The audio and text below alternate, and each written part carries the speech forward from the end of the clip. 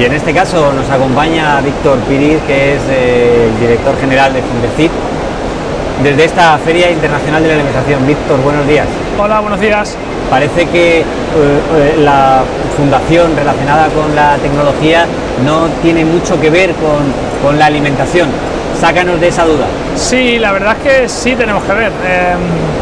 De Fundecit dependen los, ahora mismo, hasta ahora, multitud de proyectos de los dos centros de investigación públicos del Gobierno de Extremadura, del Centro de Investigación La Orden y del Centro de Investigación INTAES. Tenemos en torno a 15 proyectos abiertos ahora mismo, casi todos, casi todos relacionados con, con diferentes ámbitos de la alimentación, desde jamón, bebidas preparadas, zumos, eh, cerdo ibérico, o sea, todo lo que todo lo que tiene que ver con la alimentación a nosotros nos afecta desde el punto de vista de que hay muchísimos investigadores y muchísimos empleados de Fundecid que son investigadores y que están destinados en los centros de investigación.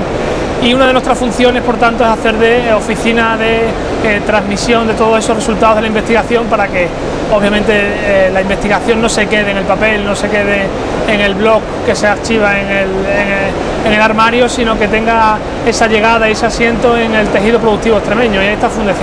Ese, enlace entre los investigadores y las empresas, entre las, investigaciones que se hacen y sus, eh, digamos, resultados finalistas son los que Fundecid tiene que hacer. Sí, porque la tecnología no solo son los cables, también es la forma en la que se hacen las cosas.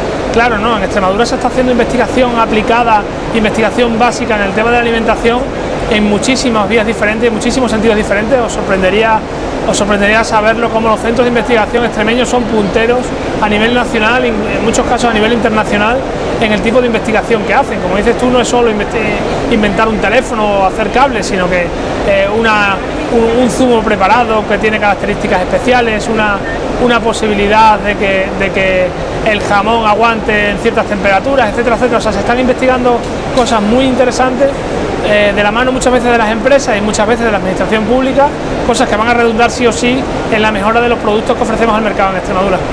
Un decir cerca de las empresas y como no podía ser de otra manera, su máximo exponente aquí al pie del cañón, a la brecha, escuchando qué dicen. Claro, eh, la verdad es que es nuestra, es nuestra filosofía. Yo lo tengo claro y lo tuve claro desde el principio que Fundeci está y por y para las empresas, porque es nuestro, es nuestro objetivo principal.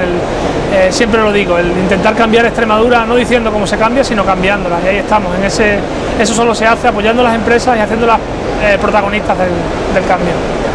Seguimos navegando en extremadura.org. Gracias, Víctor Pérez, por estar en ante nuestras cámaras y en internet nos vemos. Gracias a vosotros.